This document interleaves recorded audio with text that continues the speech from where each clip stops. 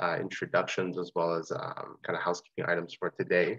Uh, thanks everyone and thank you professor for taking the time today to join us for our fireside discussion on intergovernmental organizations and career paths and certainly uh, Dr. Dimitrov's stories and, and professional journey through it.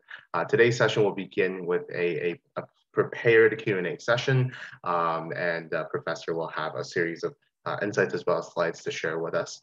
Um, and we'll, we'll follow this up with a Q&A session where you can really get into nitty gritty and submit your questions and what you're curious about um, uh, within after about 20 minutes to half an hour. Uh, feel free to submit your questions in the chat box directly and we'll, we'll be sure to take it up afterwards, or you can raise your hand and we'll be sure to ask Professor uh, after the session as well. Um, I know that I, most of us already uh, know Professor and his work, but for the extremely slim majority of uh, those of us here today, I would love to give a very brief introduction on Professor Dimitrov um, and his uh, scholarly leadership as well as contributions. Um, Professor Dimitrov's academic expertise is on climate change negotiations, UN diplomacy, and international institutions and global environmental politics. Professor has participated in UN conferences for more than 20 years, represented the EU in international climate change negotiations, and helped negotiate the Paris Climate Agreement. Uh, the body of professor's work covers the history of climate negotiations from behind closed doors and explores the politics of policy making. Based on firsthand participatory observations of international diplomacy, Professor introduces two key concepts to global governance scholarship, empty institutions and non-regimes. Looking at this, the theoretical aspects of Professor's research pertain to the role of institutions, effective negotiating strategies, argumentation, persuasion, and the role of climate and environmental policy. Professor, really appreciate your time today. Thanks so much for joining us. Thank you, Leo. Uh, I really want to extend publicly um, my appreciation and gratitude to Leo for once again organizing an event that is essentially a service to the students. Um, and I, and I, as every, everyone who has known Leo will know that he's been absolutely exemplary in taking the initiative, you know, to do things that are really useful and helpful to others.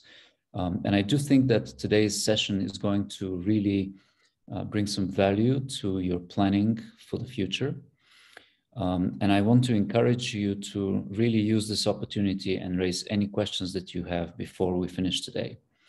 Uh, it is also great to see some of you. Um, I, I, recognize a number of faces um, and I hope to see more faces like I know Mia is hiding there somewhere. Um, but uh, it is I'm very nice to be. Pajamas. I have to quickly change. I'm sorry. Hi, Mia. Um, it is very nice to be back with you guys, uh, even virtually. Um, so today, uh, what I'd like to do is sort of give people a sense of what are the different options of getting into the world of international organizations in particular, but also more broadly in international careers related to political science and international relations. Um, and we are going to um, also look at a couple of very specific stories of people, how they got there. Um, and first I want to start a presentation. Um,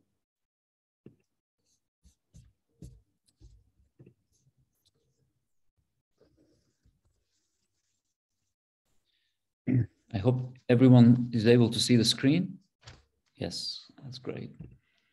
So um, just as a general introduction, if you are in IR, the principal careers that can be related to your studies and your degree are the following.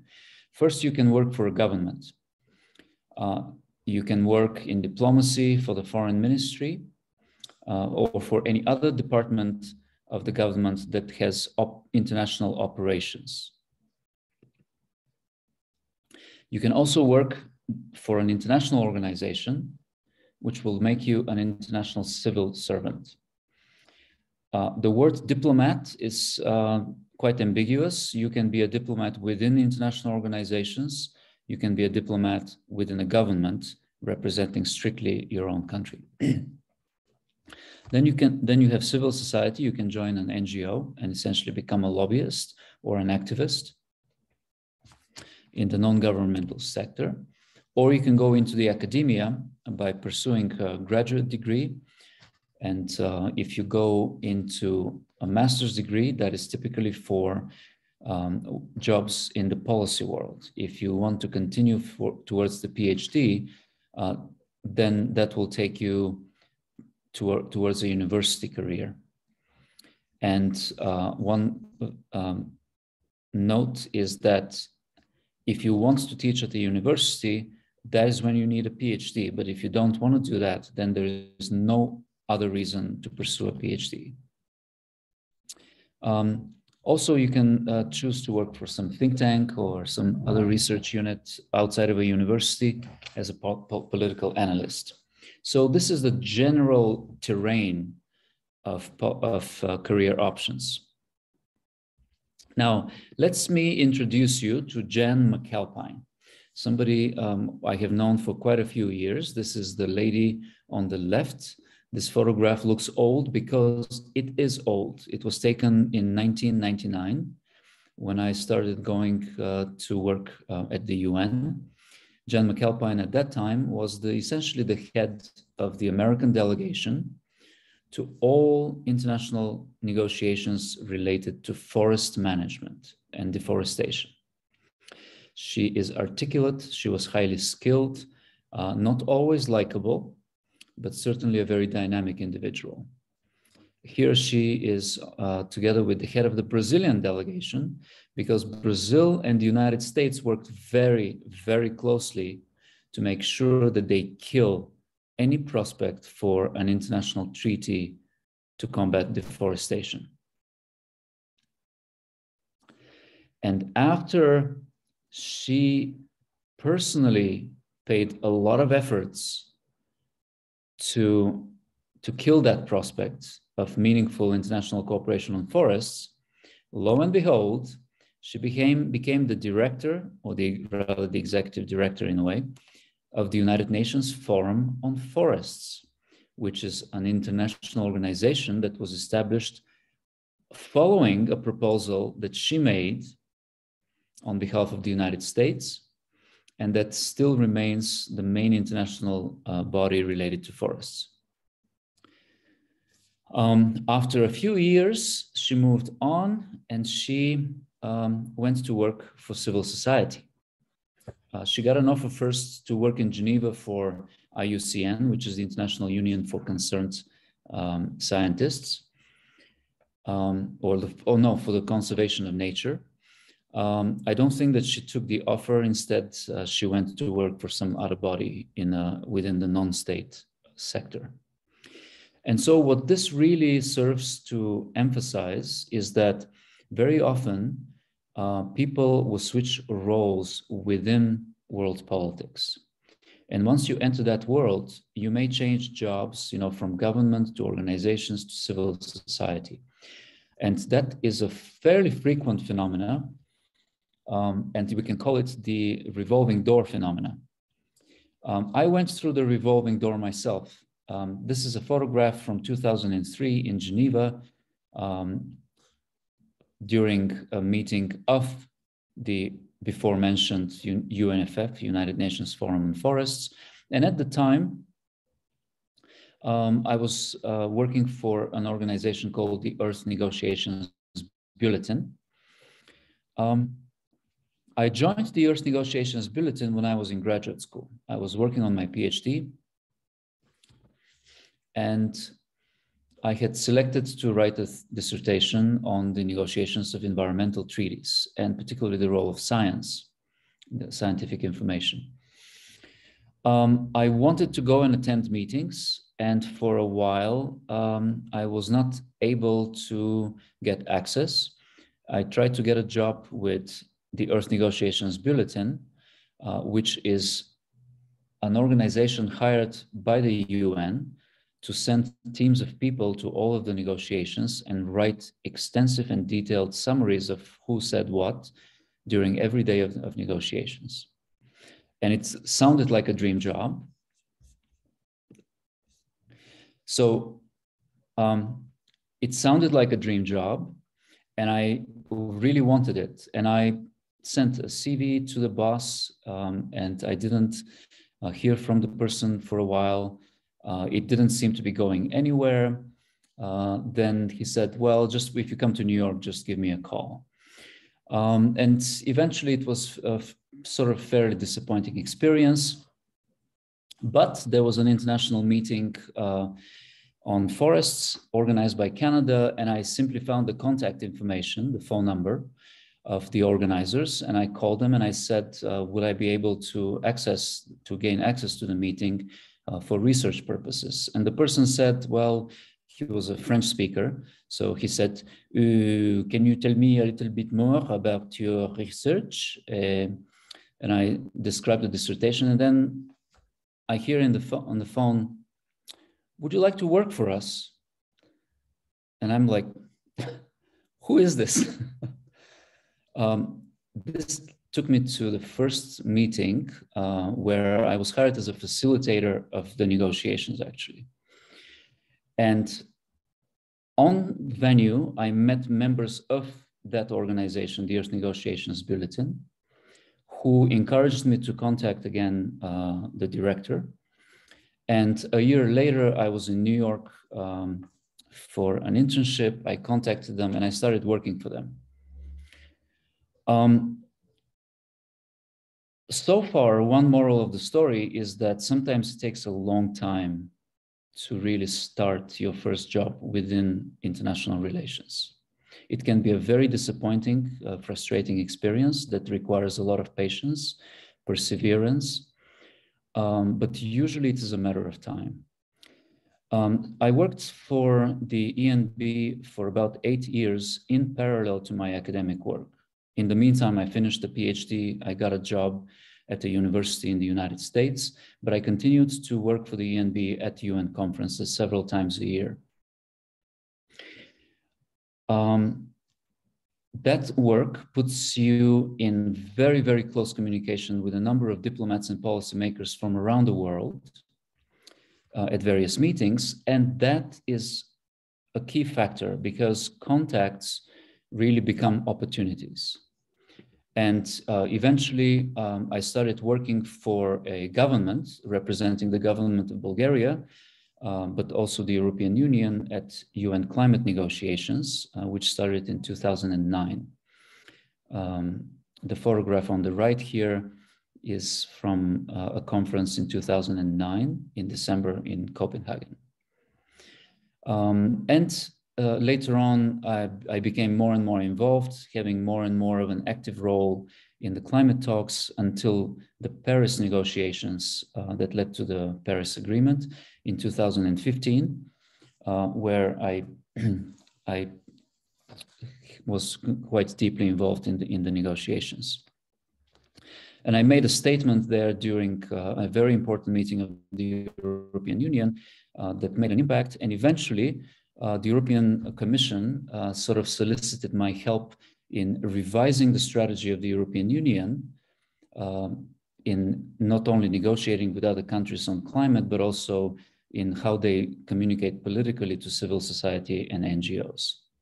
So just like the story of Jan McAlpine, who switched from government to international organizations to civil society, you can see that in the second story, we have a similar trajectory of somebody who starts from the academia, uh, moves on to, well, let's say it's a civil society job, and then goes on to a government delegation and eventually gets into to work for an international organization, which is the European Union, uh, where I was um, co-chairing the task force that was established to implement my new negotiating strategy for the EU.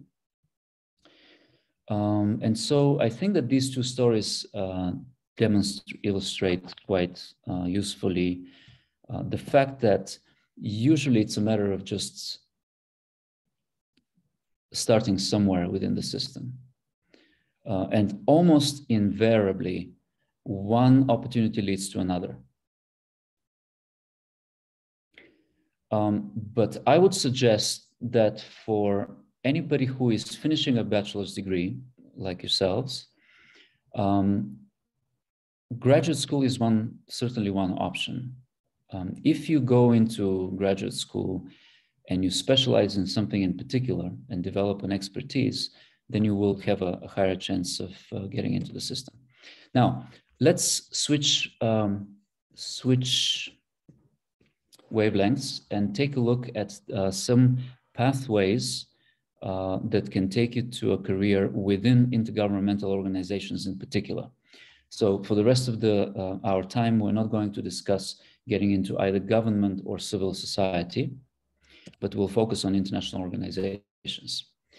Uh, first of all, uh, a person is capable of directly applying to work for, um, for the UN system, for instance. Um, then, the, uh, and I will discuss this uh, in the next slides.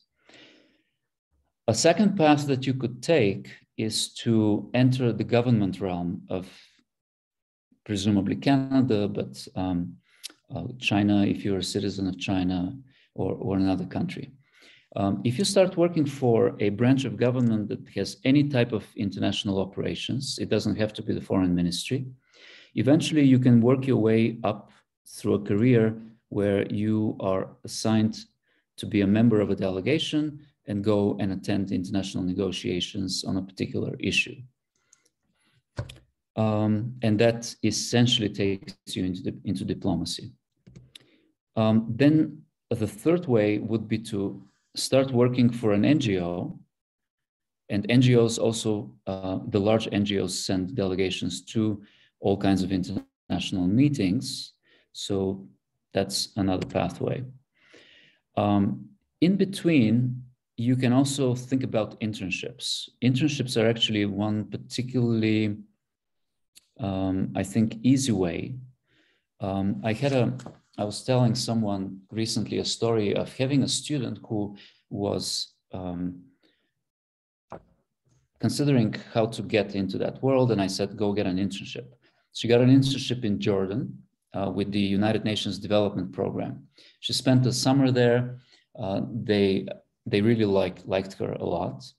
And they went to the extent of creating a job so that she can apply so that they can keep her on a permanent basis and that led indeed to a job. And um, she just uh, recently, a couple of weeks ago, um, wrote to me back, um, and I think that she's having a very successful career. Um, and then finally, you can go to gra through graduate school, um, and um, I'm going to put this in brackets. I don't want to spend a lot of time right now, but I encourage you to um, ask questions later on about this. Um,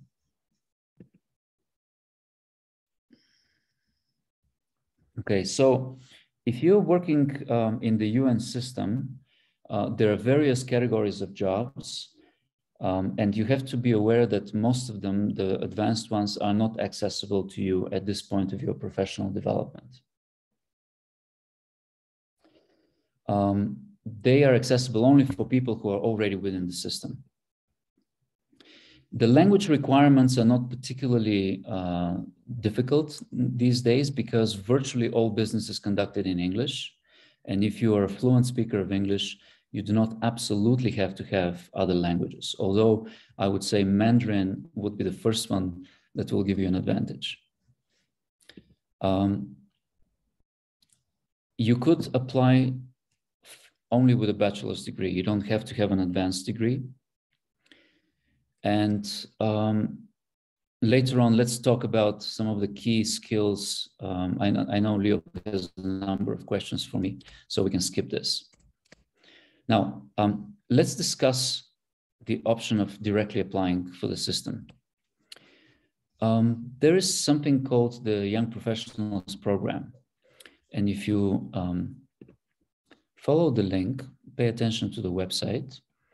Uh, it will give you information about a, an exam, examination system. Uh, you could register essentially and take a written exam, and if you succeed, take a verbal exam that can put you into the system. Um, and I would like to tell you just a very specific story once again that um, that illustrates this. Um, one of my classmates in the master's program uh, of international peace studies that I completed, uh, she was from Belgium, um, Beatrice, and she applied uh, for those examinations at the UN while she was in the program. Uh, she said it was very difficult. She prepared for several months in order to, to be well prepared and then succeeded. She passed, they put her on a waiting list and they said, you know, if something opens up, we'll let you know. Uh, and then within a couple of months, uh, they contacted her and they said, well, we have a position for one year in Suriname. Um, and people who, who like geography games uh, know that Suriname is a country in the northern part of South Africa, sorry, South America. Um, it wasn't a particularly attractive one. It was actually had to do with computer management. Somebody, they, they, the government needed somebody to go and help them set up a computer system, a database. And she was wondering whether she should go. She decided to go. And then um, she was very dissatisfied. She really didn't like it at all. But it led to other opportunities within the UN system. And today, as far as I know, well, the last time I heard from her, uh, she works in Geneva uh, in a very, very comfortable position. Um, I, I can't remember which branch of the UN system it was, um, but um, it, it really led to a very stable career in, in the UN. Okay. So I encourage you to look at the website, uh, the Young Professionals Program.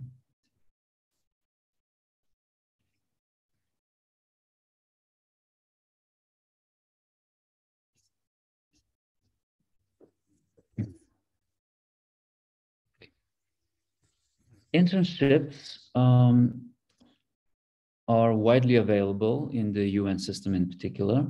There's a special website that you should check out that lists everything. Um, they have a search engine. Uh, you can select by location, you can select by the part of the UN system. The bad news is that they're typically not well paid or not paid at all. So you can assume that you'll have to finance an internship yourself.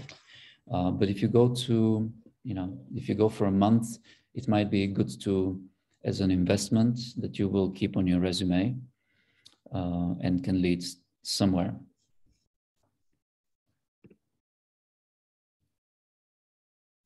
And then finally, uh, there's a website that uh, actually lists, not, right now it's not available, but they, they actually list the jobs available within the UN system and curiously, some of those jobs are for people with bachelor's degrees, including uh, political science and international relations.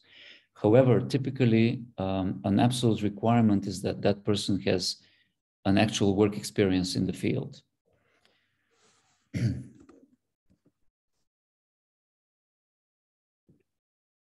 um, I was looking, uh, I was checking this website recently for example, the World Health Organization right now is hiring like crazy, uh, and they typically want a, a, a BA, um, but they do want you to have work experience. Uh, you can be, for example, a communication specialist. Um, there was a um, project,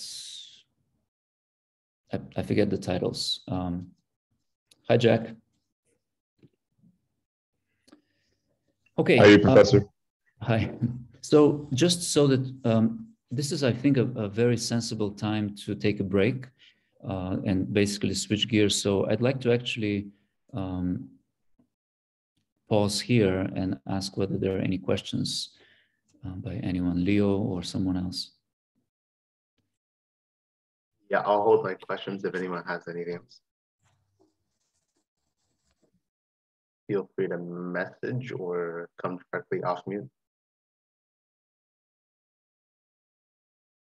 Uh, Professor, oh, oh, yeah, Katrina, go ahead.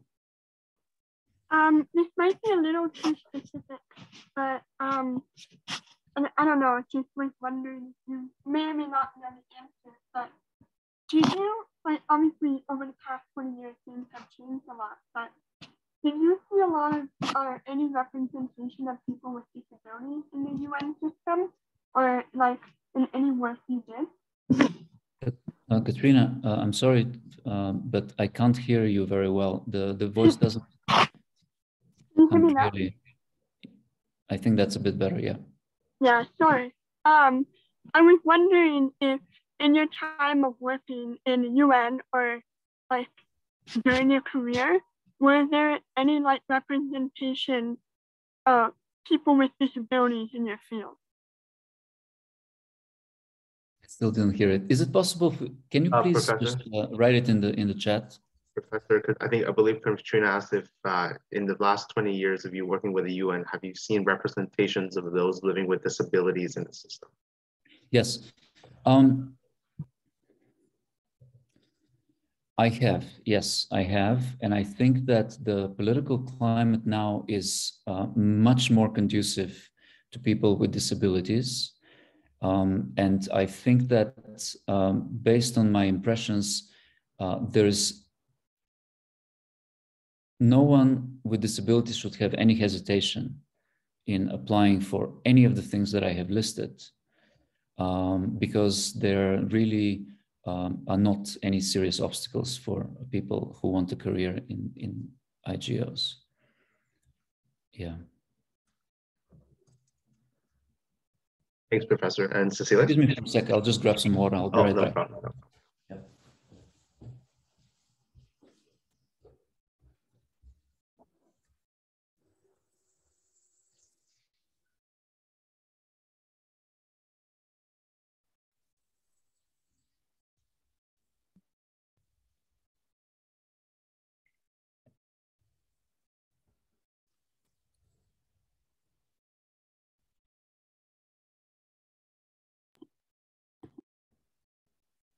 Leah? Am I good to go now? Okay, great. Um, so hi, professors. My question is about um, when applying to these jobs that you have listed above, do you have any tips and advice for us to, in terms of the application process or the interview process, and what are the odds of them actually like offering you this kind of opportunity? Hmm. Um, I think that um, it's not really about the application, but what the application reflects. Uh, essentially, it is about bringing substance to the table that is credible. And there are very real limits to what an application can do in order to decorate your expertise or experience. Um, essentially, um, I think that anybody who wants a career within the UN system needs to think about the specific expertise that they can bring.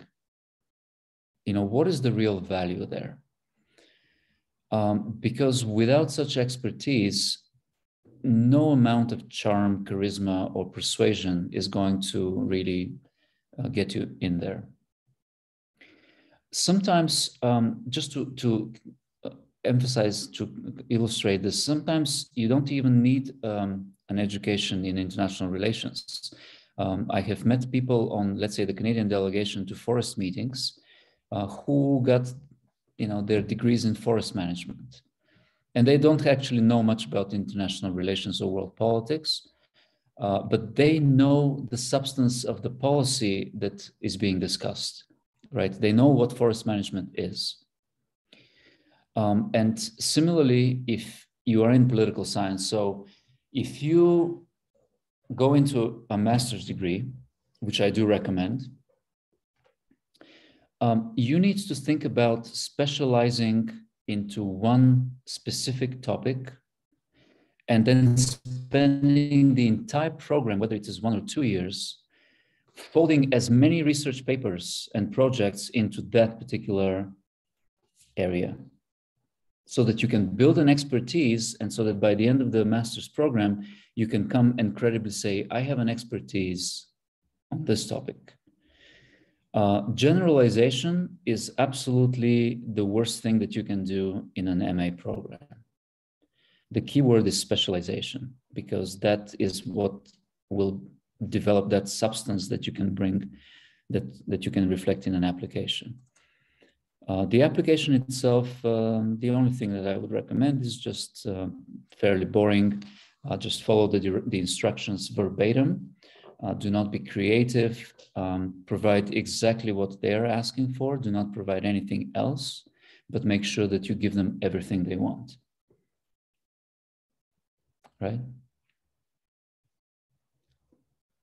Anyone else? I have to admit, I have to admit that uh, I feel a little bit pressed for time right now because I'm aware that we have one hour. Uh, but if you uh, are free longer, then we can sort of relax and take it easy and then cover everything. Pastor, this meeting room is open until to 12, 12.30. So as long as people have time. Okay. Oh, and Jack. Hi, Professor. So um, to, to continue on that conversation there, that, uh, that point actually stuck with me. Um, specialization is much more important than generalization. Uh, to that point, um, given the current like political climate and the way that the world is changing, what do you recommend um, that uh, students in our uh, in our shoes should specialize in? You mentioned that um, the World Health Organization. That's something that's uh, very important in hiring a lot right now. What other fields do you think may be of um, uh, importance over the next uh, few decades? Hmm.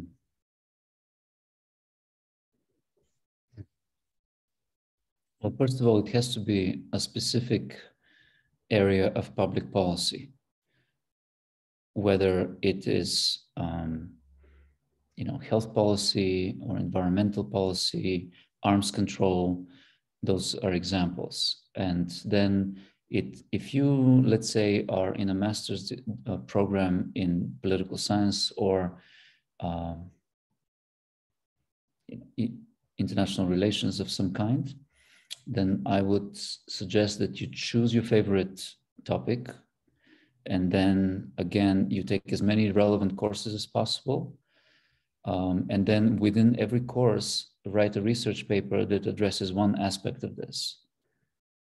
Right, so that you can essentially build a multifaceted perspective on the one single topic.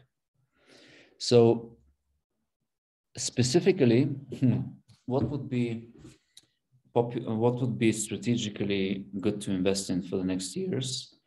Um, don't take Ukraine; it's too cheap. it's too obvious, um, and um, I uh, think that you could. Well, I'm biased, but I do think that environmental policy uh, is an area that is you know expanding everywhere in, in every country they're building capacity for environmental policy um, i do think that this is something that is here to stay with us uh, and that will be and that the job market for relevant professions will be increasing at least for the next 10 years e expanding so that's something to consider um, i do not I think that um, anything that has to do with development would be good. Um, anything that has to do with health policy, maybe for the next five years or so. Uh, yeah, that's it. Thank you. Thanks, Jack. Uh, Yash? Hi, uh, so I missed the beginning this my laptop wouldn't turn on. I think it might be broken, but uh, so on the topic of specialization, I know for me right now there's two very different things that I'm specializing in. I'm writing in a lot, and I know you said you're you're biased for my, environmental policy. For example, one of mine's nuclear uh, policy, and the other one is cyber policy. So I'm writing extensively on both of them. Did you see yourself really going into environmental policy from the get go? Just because my big concern is if if I choose between one of the two, if I realize that that really wasn't the one that I would have preferred yeah so i'm like in the point i'm in the position where i feel like i'm afraid of pigeonholing myself if that makes sense um, i remember in when i was in my master's program um, i read the new york times uh, the, and i saw something on the first page that had to do with climate impacts and i read it and i had this moment of saying you know this is going to change the world um, so yeah in a certain sense i was pretty you know, I, I, decided very early that I want to focus on this. Um, eventually, mind you, that I'm, I'm I don't consider myself an expert in the environment. I consider myself still uh, working on diplomacy and negotiations. It just happens to be within envir environmental politics. Um,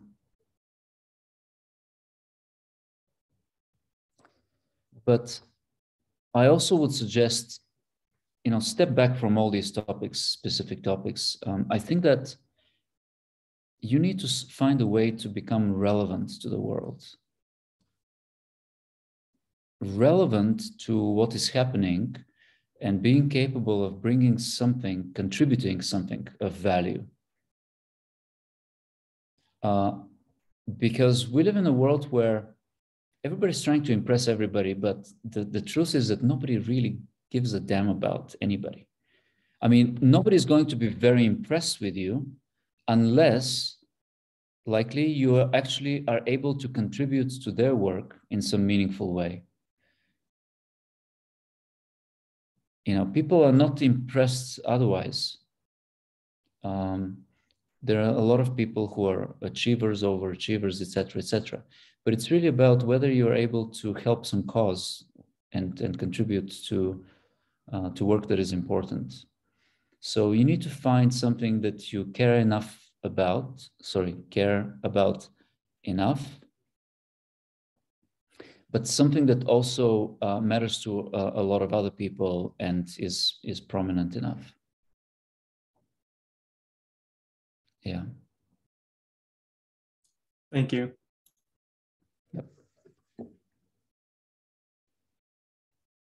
Oh, Professor, I got a question. Uh, I got a question in the chat that I can read aloud for Kieran.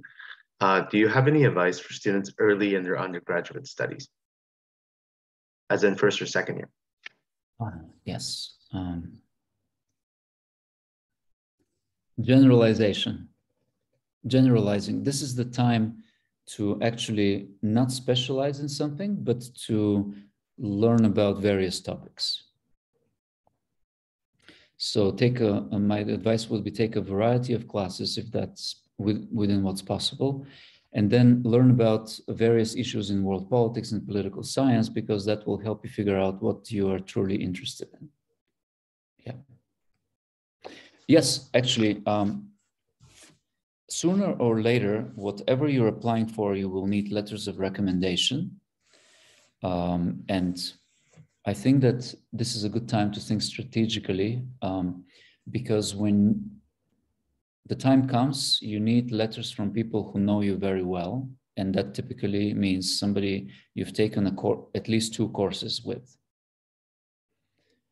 Um, and so think about maybe three professors whom you would like to get to know uh, professionally and you know take a couple of courses with each so that you have somebody to go to um, in the fourth year.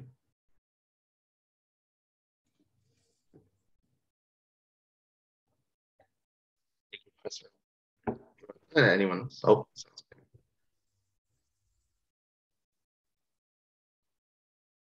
Professor, looks like we're in the clear for now.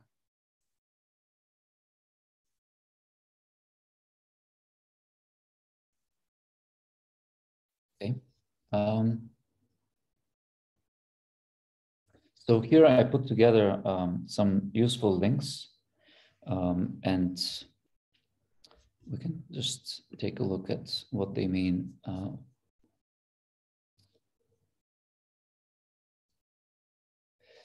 so pay attention, please, to the websites.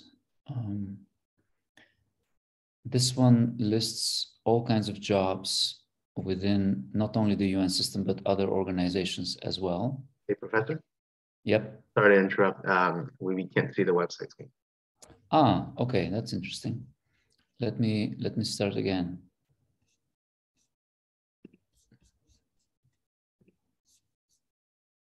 Okay, okay. About, we're good now. Yeah.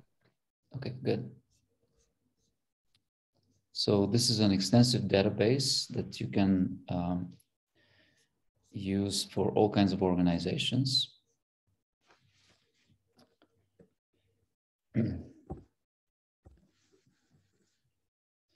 Um, if you're specifically interested in UN jobs, um, this is a website that can be used instead of the one that is under maintenance now.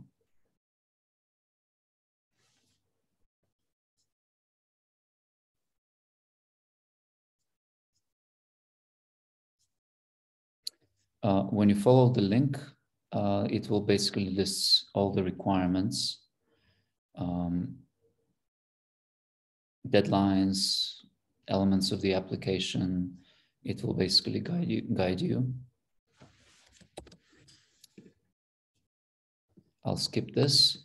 Uh, and there are other job search engines. Um, one of them I like is the so-called um, Impactpool. And as you can see, you know, World Health Organization, World Health Organization. So let's take a look at one specific one. It describes what they will want the person to do. And here are the required qualifications. they don't even require a university degree but they want somebody to actually have experience in accounting and or administrative work. And if that experience is within the UN system or other organization, then they have an advantage. Um,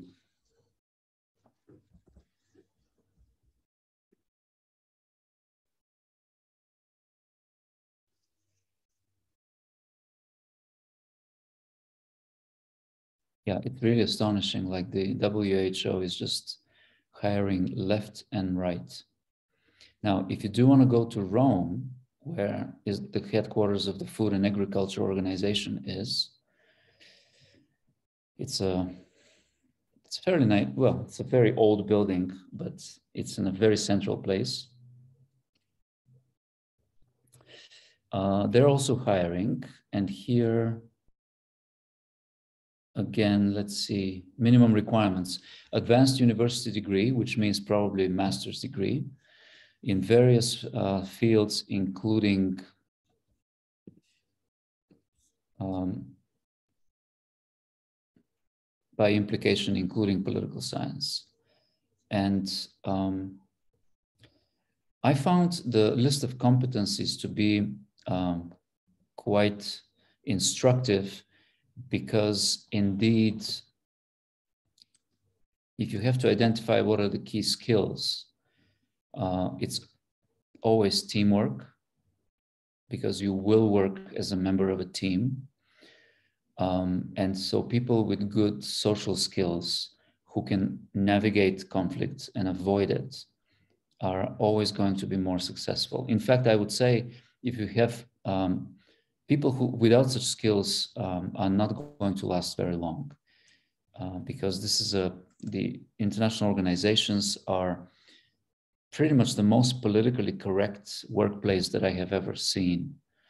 Uh, everybody is like super super careful not to you know step on anybody's toes and to be very pleasant and very agreeable and very likable.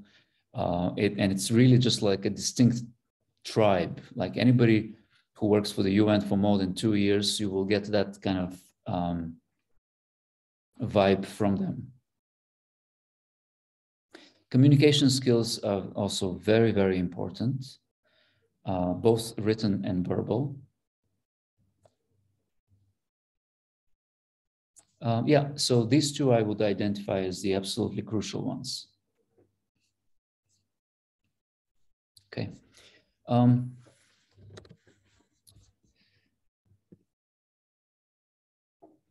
Then there's something called Indeed, and this focuses actually um, on government jobs in Canada. Um, again, you can search, you can um, basically put in international relations or some other field. Uh, you can specify where exactly you want to work, uh, which province, which city. Um, and I think that is um, that's very useful to look at.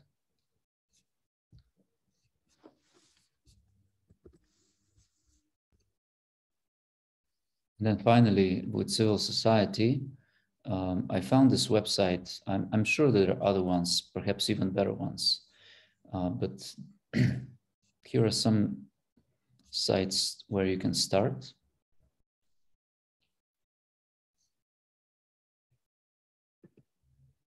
Devex, for example.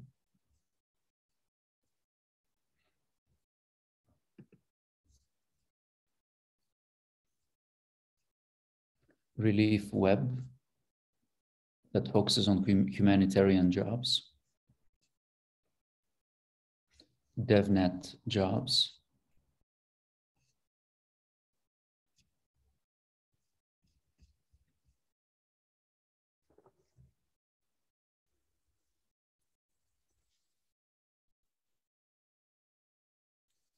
That's uh, a bit one too much. So um, let's talk more. Any any questions you have? Well, I have to admit, for me, it's been a very long day. I've been at work all day, so I'm running a little bit on vapors, but.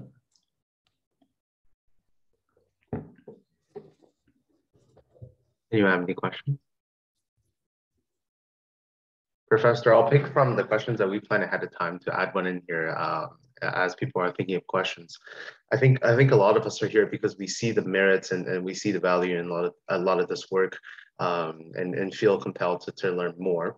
Uh, in your experience in, in these kinds of institutions where, as you mentioned, there's a lot of sacrifice, there's a lot of like ambiguity, uncertainty as to when you're going to get another contract job, um, concessions you have to make on what role you have to take.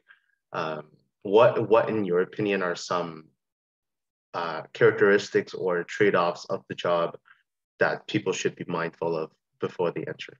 And this could whether uh, work-life balance or, or incomes or, or family and stuff like that having being compelled to travel abroad all the time um, in your experience what are some of some of these things that you think people should be aware of before going in?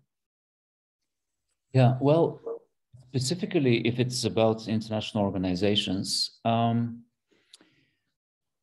salaries are quite decent. You know, they're quite adequate.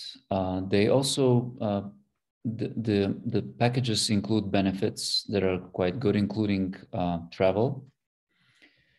Um, I don't know very much about the pensions benefits, uh, but my sense is that any lasting career as an international civil servant you know, is fairly comfortable from this point of view. Um, what people have to be prepared is that there will be a lot of travel. Um, and that means away time away from home and family. Um, I know people who are traveling like more than half of the time of the year, they're, they're gone, right? Um, another factor is that if you're within the UN system, uh, you could expect every several years to be either reallocated or you see new opportunities and then you move somewhere else. So in general, just like the life of a diplomat, um, you know, you have to be prepared that you'll be moving every several years to another country, right? And if it fits your style, great. Uh, if it doesn't, um, people with strong opinions are not going to do very well in that world. When you have strong views on something, uh, you are going to share them. And again, it seems that that world is full of people who are kind of waltzing around issues and you know they speak sweetly without really offending anyone um, So that's something to consider. Um, yeah, but travel, travel is probably the main the main factor. Um, you either get used to jet lag, or you very soon get really tired of it, and you just say the hell with it.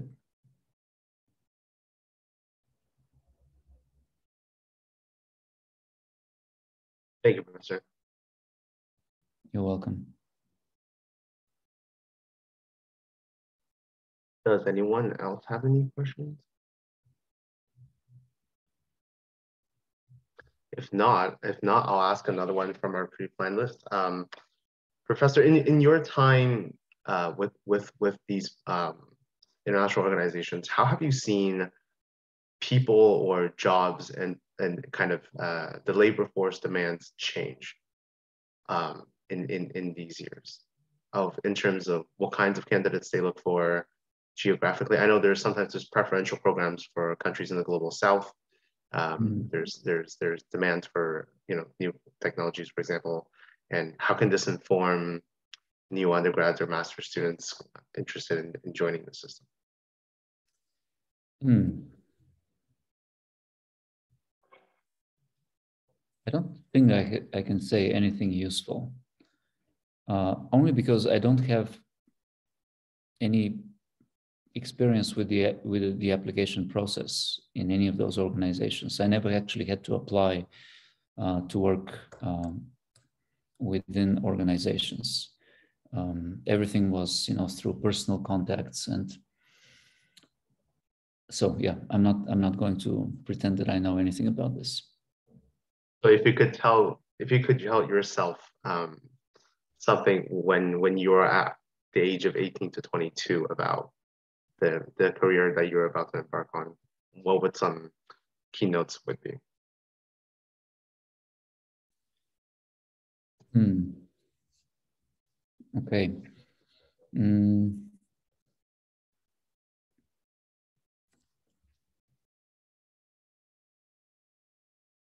I think that it is what I said earlier that you need to think about um, committing to a particular topic in which you specialize that is both interesting so that you can you know keep doing it as well as important in the world.